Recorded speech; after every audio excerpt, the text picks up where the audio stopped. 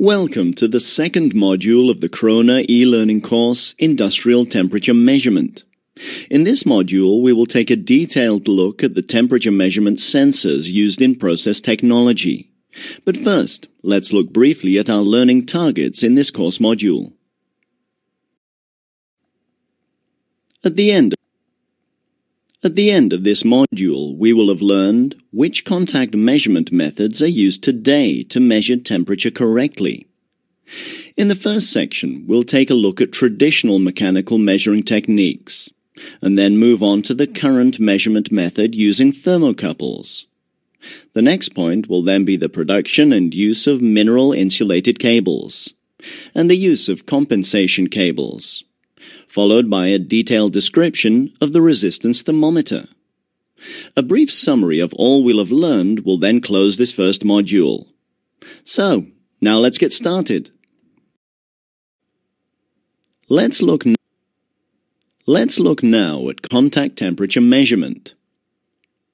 In the contact method, the sensor is brought into contact with the measuring medium, either directly or via a heat transfer medium. Before the sensor can display the correct medium temperature, it must first be brought by heat transfer to the temperature of the substance. This process takes time, which is why contact temperature measurement is always characterized by delayed response times. In the contact method, we must always distinguish between electrical and mechanical measurement. Mechanical measuring techniques are based on the expansion or deformation of substances under the influence of temperature. Electrical measuring techniques either rely on the physical effect of thermovoltage, which occurs when two different metals are connected and heated, or use the well-known phenomenon of the resistance of substances changing at a higher temperature. For the sake of completeness, we should mention at this point that there are other processes to measure temperature, for example with electromagnetic waves or ultrasonic sound, since the runtime behavior of these waves depends on temperature. These techniques are, however, only found in niche applications in process measurement technology. Mechanical Mechanical measuring techniques utilize the fact that substances expand as the temperature rises. The mercury in a classic mercury thermometer expands in a glass capillary along a scale. In a bimetal thermometer, two differently expanding metals are connected. As the temperature rises, one of the metals expands more than the other. This results in a mechanical deformation, which can be made visible with an indicator needle. Tension thermometers use the expansion of a gas or liquid reservoir and transmit the ensuing increase in pressure over a capillary to a mechanical display unit. Thermocouples and resistance thermometers are the most widely used temperature measuring techniques in industrial measurement technology. We can kick off by having a closer look at the functional principle of the thermocouple. In a separate section, we'll also examine the compensation cables which are often needed for connecting the thermocouple correctly. We can follow this by looking at resistance thermometers. The thermo the thermo or TC is the most widely used electrical temperature measuring technique. Two conductors made of dissimilar metals are welded together at one end while the other end remains open and is connected to a voltmeter. The welded end is also known as the measuring point or hot junction. The open end is called the reference junction or cold junction. If the two ends find themselves in areas with different temperatures, the electrons in the metals move differently and a thermovoltage, which is proportional to the temperature difference, can be read off at the voltmeter. The, ind- the ind- metal wires of the thermocouple are known as thermolegs. The combination of two thermolegs is a thermocouple. The thermolegs are usually connected at the tip of the sensor in the transition point to a plug-in socket. From here, a special compensation cable completes the connection to the reference junction, an area with known constant temperature, where a voltmeter is connected. When the hot end or hot junction of the thermocouple is heated, it is possible to measure a direct voltage on the other side of the wires, the cold end or cold junction. This thermovoltage is proportional to the difference in temperature between the hot and cold ends, and is dependent on the material used for the thermocouple. As the compensation cable in a restricted temperature range has the same properties as the thermocouple, the measured value will not be distorted by an additionally generated thermoelectric voltage. An external current source is not necessary for this measurement. In an, in an electrical conductor which is exposed to a temperature gradient, the electrical charges shift along the gradient, an effect known as thermal diffusion. Macroscopically measurable effects occur at the combination of differing materials. If the two conductors are joined at one end, the open end connected to a voltmeter and the transition points heated to different temperatures, the thermoelectricity appears as a thermovoltage. This physical phenomenon is known as the Seebeck effect. As you can see in the diagram, in most cases, the magnitude of the thermovoltage grows linearly to the increasing temperature difference between measuring point and reference junction. The thermoelectric voltage is also dependent on the material selected for the wires. At temperature differences of 100 Kelvin for metal-metal combinations, voltages of up to several millivolts can be measured.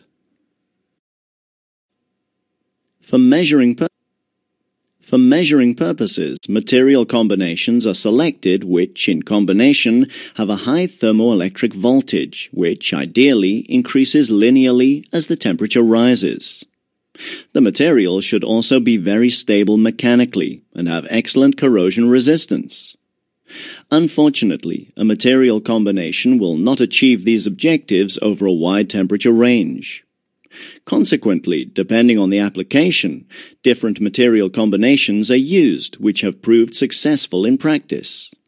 The diagram shows standard thermocouples and their application areas. For example, the substance combination shown here as a blue bar. Platinum rhodium alloy with 30% rhodium and platinum rhodium alloy with 6% rhodium is a suitable combination in the temperature range of 0 to 1800 degrees Celsius. This material combination is generally given the material designation Type B, and we speak of a thermocouple Type B. Other frequently used thermocouples are types K and J. Color Color and letter recognition for thermocouples was introduced to enable the simple identification of the different types of thermocouple in practice. While the letter recognition is uniform, the color coding varies according to the standard applied.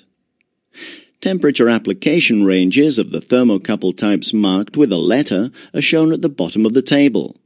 Here you can read below the letters the temperature range for continuous operation and for short-term loads of a thermocouple type. As you can see in the first line, a thermocouple type K is used in the range from 0 to 1000 degrees Celsius and can sustain short-term loads of minus 180 to plus 1300 degrees Celsius. The thermocouples are marked by color according to DIN IEC ANSI, JIS, or DIN. The color coding refers not only to the color of the external marking, but also to the colors of the individual thermolegs. We can look at another example. According to DIN IEC, a black cable with one white and one black wire signifies a J-type thermocouple. The following thermocouples are very widely used. Iron copper nickel with the designation type J are used for more accurate industrial applications in the temperature range of minus 50 to 750 degrees Celsius. Nickel chrome nickel type K is the most common type. The practical range of applications lies between 0 and approximately 1000 degrees Celsius. And platinum rhodium platinum or type S, which is used for high temperatures of up to 1600 degrees Celsius. To measure very high temperatures above 1600 degrees Celsius, thermocouples are used with iridium, iridium alloy, or rhodium and tungsten rhenium alloy. Thermolegs of gold, iron nickel, chrome, gold, iron gold, or silver are used to measure very low temperatures of under minus 250 degrees Celsius. Now, Nowadays, thermocouples are made almost exclusively of mineral insulated cables, which are also called MI cables or mantle cables. These are multi-core cables with a sheath of stainless steel in which a ceramic core with the various thermo wires is embedded. The ceramic material acts as insulation between the wires. Mineral insulated cables are produced by filling wide, thick walled tubes with perforated ceramic bodies and pushing millimeter thick thermo wires in the perforations through the tube. The pipe is then sealed and gradually reduced by drawing machines and annealing processes to smaller nominal diameters of 8 to 0.25 millimeters. In the process, the ceramics shatter and nestle tightly around the thermo wires as insulation. MI cable is flexible enough to be stored as roll goods and shipped. In thermo in thermocouple production, the mineral insulated cable is unwound and straightened on a straightening jig, shortened, and the thermowires in the connection area exposed. An epoxy resin protects the exposed ceramic area from moisture and loss of insulation resistance. In the sensor area, the hot end, the ceramics are partly removed, and the corresponding thermo wires joined and welded. As you can see in the sectional drawing, the hot end with the welding bead is then filled with ceramic powder and protected by a tightly welded cap against media contact. On the right of the picture is the measuring tip of a typical thermocouple with 6 mm external diameter. Clearly visible is the welded junction of the thermo legs. Depending Depending on the area of application, the measuring tips of the thermocouples are also designed differently. The most frequent universal design is the insulated measuring tip, where the thermocouple is completely enclosed in insulation material without touching the outer sheath. This construction is extremely impervious to mechanical and chemical loads, and can therefore be used in most applications. This encapsulation, however, has a negative effect on the response times, as the thermocouple is thermally insulated, which leads to delayed response times. A smaller diameter can solve this problem. If, however, the welding bead in the thermocouple touches the metal sheath, although the response time may be shortened considerably and the mechanical protection remains intact, noise signals are picked up more and more over the grounded metal sheath. The grounded design is often used in power plant boilers and steam generators. The mechanical stability of this construction is, however, lower. The design with free measuring tip offers extremely short response times, but offers practically no protection to the thermocouple, which reduces dramatically the operating temperatures and conditions. Consequently, this design cannot be used, for example, in an environment containing water or steam. With thermocouples, the temperature difference between the measuring point and the reference junction is deduced from the measured thermoelectric voltage between the two thermo legs. The thermoelectric voltage measured at the reference junction is directly proportional to the temperature difference between the measuring point and reference junction. The reference junction is where the thermo wires or compensation cables are connected to the copper lines or the transducer. For the temperature of the measuring point to be determined accurately, the temperature of the reference junction must be known and included when calculating the measuring point temperature. In practice, the reference junction is found directly at the connecting terminals of the measuring transducer, the display, or the processing electronics. The transducer measures the reference junction temperature with a reference resistor and compensates the influence of temperature at the reference junction. In older installations, the reference junctions of the thermocouples are often in thermostats. Here, the compensation cable is connected to heated terminals, whose constant temperature is known, for example, 60 degrees Celsius. From there, the copper line wiring can proceed. The electronics measures the reference junction temperature of the thermostat and takes it into account for determining the correct temperature at the measuring point. The the materials used in the thermo legs of a thermocouple are usually very expensive. For this reason, efforts are being made constantly to keep thermo legs as short as possible and to transfer the thermoelectric voltage rapidly onto a cheap copper line. Unfortunately, this creates a new thermocouple between the material of the thermo legs and the line copper, which would then distort the original thermoelectric voltage of the thermocouple. The remedy, as you can see in the diagram, is to use a compensation cable as a connection between the thermo legs and the reference junction. In other words, the compensation cable bridges the distance between the terminal head of a thermocouple and the transducer and is thus not exposed to the prevailing temperatures at the measuring point. The conductor of the compensation cables is made of low-price substitute materials, which are not identical with the corresponding thermocouples, but which, in a permitted limited temperature range, have the same thermoelectrical properties as the materials in the thermo legs. The coding of the thermo and compensation cables is standardized according to country. Standardization helps reduce the risk of confusion and false polarity.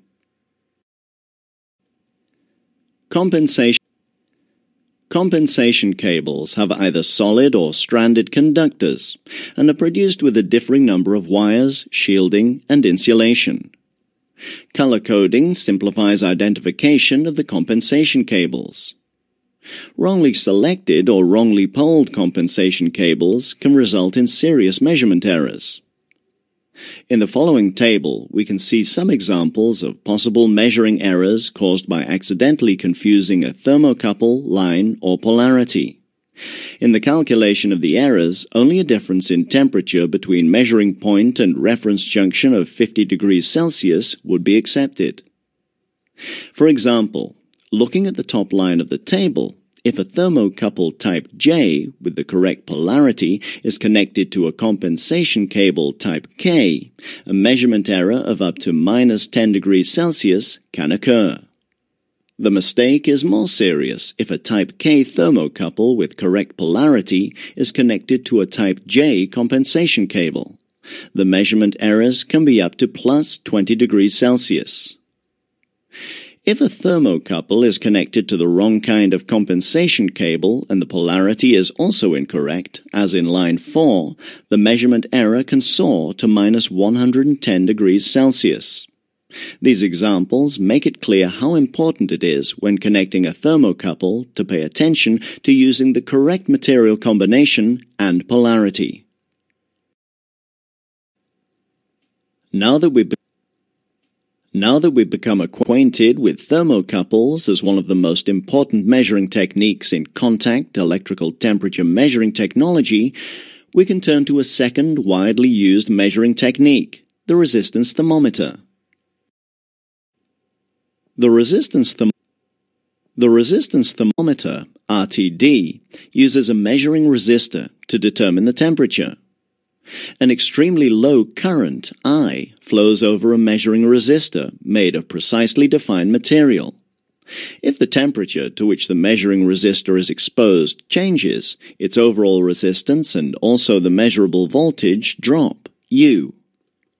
The change in the measured voltage drop is proportional to the temperature change in the measuring resistor. In resistance in resistance thermometers, the temperature-dependent change in the resistance of electrical conductors is also used as a measuring principle.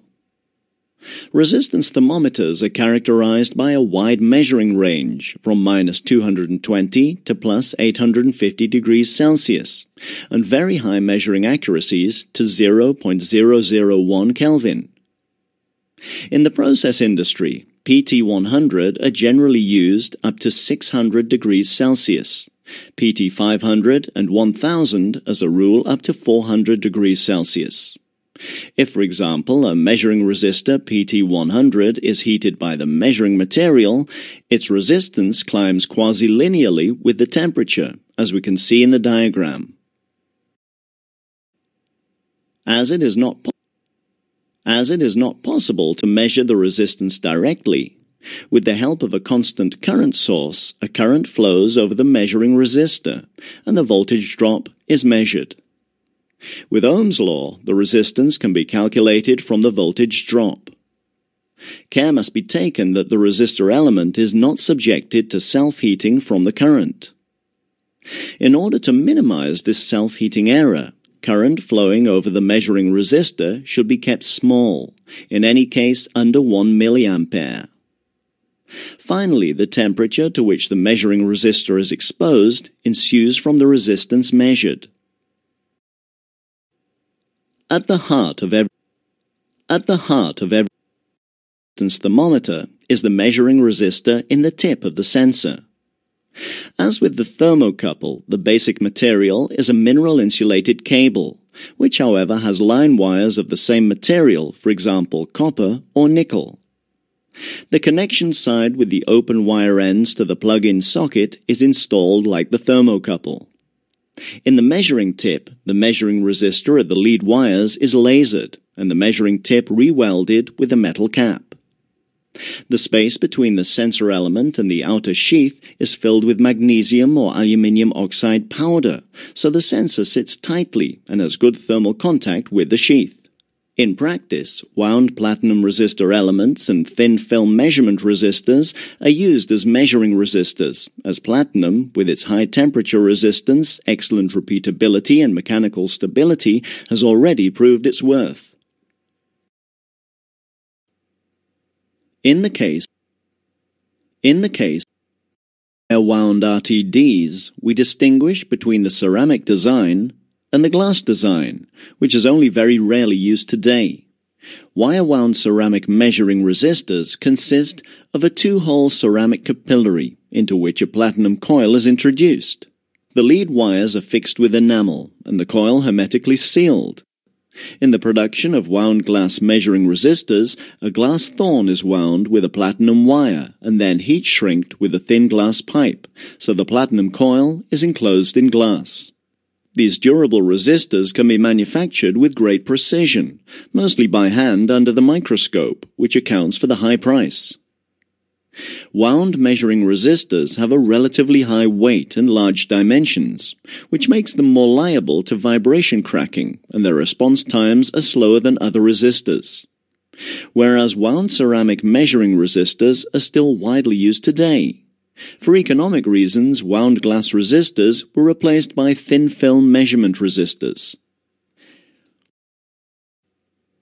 Besides wire Besides wire-wound resistors, thin film resistors are increasingly in use today. They cover wide temperature ranges, and the common application temperatures are up to 500 degrees Celsius, occasionally up to 850 degrees Celsius. Thin film resistors are produced in a highly automated process by screen printing, vaporizing, or sputtering platinum onto a ceramic substrate. As a rule, for thin film measurement resistors, a platinum layer is evaporated onto a ceramic substrate. Then the film is laser meandered, whereby a large number of measuring resistors are created on a single substrate, which must later be separated. After the application of platinum and meandering, every resistor is measured individually and trimmed with the aid of a laser to an exact resistance. The thin film resistors are then covered with several passivation and glass layers. The lead wires are attached to contact pads and also provided with a protective cover.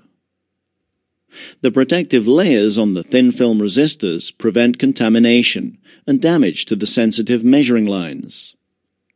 Thin film resistors have a small mass and are thus less susceptible to vibration or powerful acceleration. They also align very quickly to the temperature of the measuring material. In some applications, thin film resistors can be used directly without additional safety measures, e.g., in gas temperature measurement. Now, let us briefly now, let us briefly summarize what we've learned in this second module on industrial temperature measurement. We know now that contact measurement technology is divided into mechanical and electrical methods. We've seen temperature measurement methods, and know the build-up and the working principles of the thermocouple. We've been acquainted with mineral insulated cables and the use of compensating cables. We also have learned how a resistance thermometer works. Congratulations! You now know the